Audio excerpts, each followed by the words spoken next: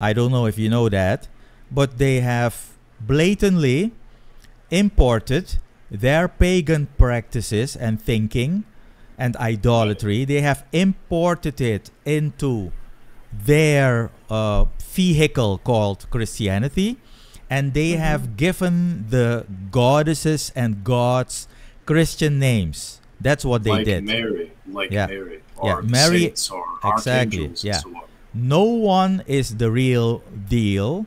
They are all false gods and goddesses, and especially the one uh, pictured or depicted as Mary. That's that's that's the worst one because that mm-hmm. goddess is nasty, really nasty. So um, the thing is that, and that's these are all sovereignties, authorities, and they are existing gods, small g gods, obviously, that are blatantly and massively deluding uh, billions, not millions, but billions of people through Christianity in this in this case.